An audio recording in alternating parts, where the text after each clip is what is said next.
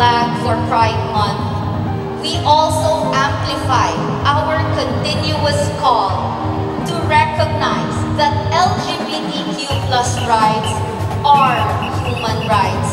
We commend each and every one of you for constantly rising to the challenge and steadfastly holding your ground when the world tries to uproot you of your voice.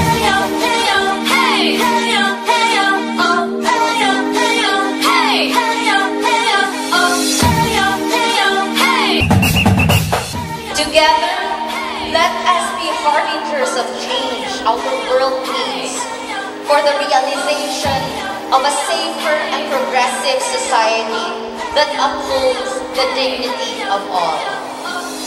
Brothers and sisters, be proud.